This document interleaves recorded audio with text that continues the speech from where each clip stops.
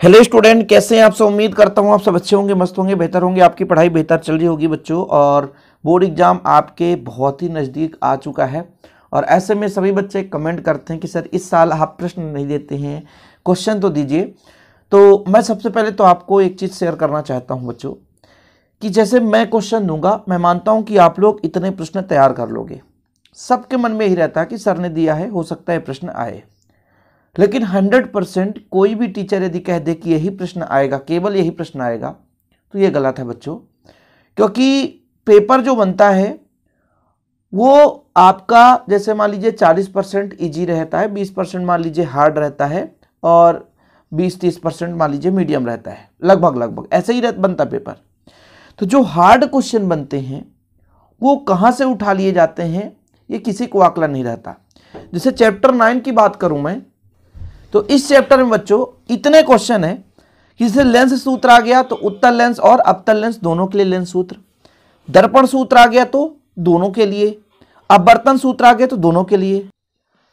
इसी प्रकार बच्चों, कई सारे क्वेश्चन है, जैसे मान लीजिए आपके वक्रता त्रिज्या फोकस दूरी में संबंध है तो उत्तल दर्पण, अवतल दर्पण। तो एक ही प्रश्न दो दो तरीके से हम सॉल्व कर सकते हैं। लेंस सूत्र को उत्तल लेंस अवतल लेंस दोनों के लिए।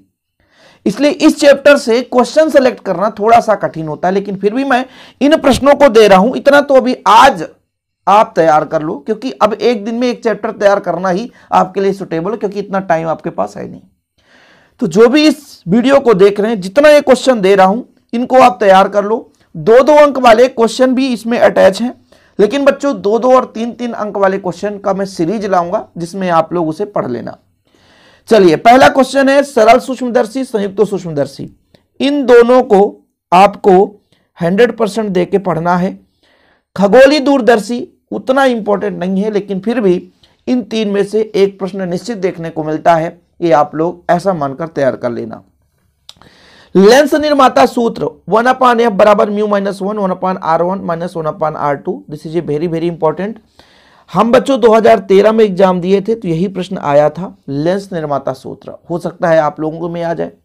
लेंस सूत्र, वन अपान एफ़ बराबर one upon v minus one upon u. Question यदि आ गया, गोलीय पृष्ठ हेतु लेंस सूत्र का निगमन कीजिए तो आप किसी का भी लगा दें। लेकिन यदि क्वेश्चन आ गया उत्तर लेंस के लिए तो उत्तर लेंस लगाना पड़ेगा। यदि अवतल लेंस के लिए आ गया, अवतल लेंस लगाना पड़ेगा। इसी प्रकार गोलीय पृष्ठ के लिए, गोलीय दर्पण के लिए दर्पण सूत्र आ गया। तो आप किसी को लगा सकते हैं, लेकिन भाई साहब, यदि उत्तल के लिए तो उत्तल का लगाना पड़ेगा अबतल के लिए आ गया तो अबतल का लगाना पड़ेगा। अपवर्तन सूत्र, mu upon v minus one upon u equal mu minus one upon r ये बच्चों आपका अपवर्तन सूत्र है। फिर ये प्रिज्म के अपवर्तनांक के लिए यहाँ पर व्यंजक निकालना है sine a plus del m बटा दो। साइन ए बाई टू ये आपका बच्चों प्रश्न है, कहाँ का? प्रिज्म के अपवर्तन का सूत्र है, जिसे आप लोगों को अच्छे तरीके से तैयार कर लेना चाहिए। इसके बाद बच्चों, दो और तीन अंक वाले प्रश्न की बात करें तो वक्रता, त्रिज्या और फोकस दूरी में संबंध मैंने आपको पहले ही बता दिया कि यहाँ से भैया क्वेश्चन जो है, दो अंक में भी पूछा जा सकता है, तीन अंक में भी पूछा जा सकता है। सिद्ध कीजिए कि आर बराबर एफ़ बाई टू इतना आ गया तो फिर आप अबतल का लगा दो, अबतल दर्पण के लिए। ज़रूरी नहीं रहता। मुख्य रूप से अबतल दर्पण तो मैक्सिमम रहता है चांस उत्तल दर्पण का उतना चांस नहीं रहता। हर जगह आप अबतल, जैसे लेंस सूत्र में अबतल लेंस का पहले आप, है ना, तैयारी करो अब उत्तल का बाद में। दर्पण सूत्र में पहले अबतल दर्पण का। मैक्सिमम चांसेस रहता है अबतल का तो अबतल आप तैयार कर लो। ये हंड्रेड परसेंट मैं कहना चाहता हूँ। अगला क्वेश्चन है पूर्ण आंतरिक परिवर्तन। इससे कई प्रकार क्वेश्चन पूछ लिए जाते हैं। पूर्ण आंतरिक परिवर्तन किससे कहते हैं? इसकी शर्त लिखो। अभी इस पिछले ईयर पूछा गया था क्वेश्चन माध्यम के अपवर्तनांक और क्रांतिक कोण में संबंध, ये भी क्वेश्चन पूछ लिया जाता है। प्राथमिक इंद्रधनुष, द्वितीय इंद्रधनुष में अंतर, ये दो अंक और तीन अंक वाले प्रश्न है। प्रकाश की उत्क्रमणीयता का सिद्धांत बच्चों। और दो अंक वाले क्वेश्चन तो यहाँ से ऐसे फंसा के पूछा जाता है, तारे टिमटिमाते हैं क्यों? अब वर्तमान की परिभाषा लिखो। पूर्णांतिक परिवर्तन की शर्तें खतरे सिग्नल में लाल रंग का प्रयोग किया जाता है क्यों? ऐसे क्वेश्चन पूछे जाते हैं जो कि भाई साहब, मैं जब पढ़ाता हूँ तो इस प्रकार से और कई सारे क्वेश्चन कराता हूँ। जैसे मान लीजिए, आपका आ गया वर्ण विक्षेपण किसे कहते हैं? स्पेक्ट्रम क्या है? स्पेक्ट्रम के साथ अवयवी रंगों के नाम लिखो। स्पेक्ट्रम वर्ण विक्षेपण क्षमता क्या कहलाता है? समझ रहे ना? ये चीज़ है। या कि आ गया आवर्धन क्षमता।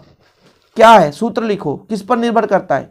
तो दो अंक और तीन अंक वाले क्वेश्चन को छांटना कठिन होता है बच्चों कि यदि कोई कह दे दो अंक में यहीं से आएगा टॉपिक आ जाता है, उस बिंदु से कोई भी बिंदु उठा लिया जाता है, इसलिए दो अंक और तीन अंक पर आप ज़रूर फोकस करें। फ़िलहाल आज आपके लिए होमवर्क के रूप में है, जिसे आप लोग अभी के अभी तैयार कर लेना। जब भी आप वीडियो देख रहे हैं बच्चों, आपके लिए काफ़ी इंपॉर्टेंट है। किरण प्रकाश की का है ये चैप्टर नाइन का मोस्ट इंपोर्टेंट क्वेश्चन उम्मीद करता हूँ कि आप लोग तैयार कर लेंगे। वीडियो पसंद आए तो लाइक करके शेयर ज़रूर करिएगा। जय हिंद, वंदे मातरम।